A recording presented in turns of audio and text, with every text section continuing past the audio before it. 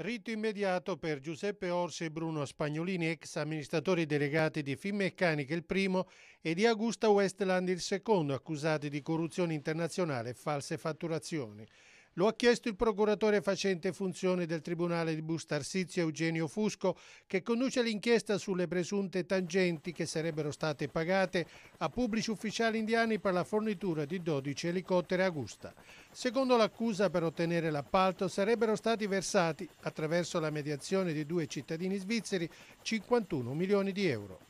A carico dei due imputati, oltre agli elementi alla base dell'ordinanza di custodia cautelare, ci sarebbero anche le dichiarazioni del mediatore elvetico Half Husk. Nella richiesta al giudice dell'inchiesta preliminare, il procuratore, che evidentemente ritiene di avere in mano riscontri sufficienti per saltare l'udienza preliminare, indica come parte offesa il Ministero dell'Economia italiano e il governo indiano, che potrebbero costituirsi parte civile. Se il giudice accoglierà le istanze, il processo potrebbe cominciare già nel prossimo mese di giugno.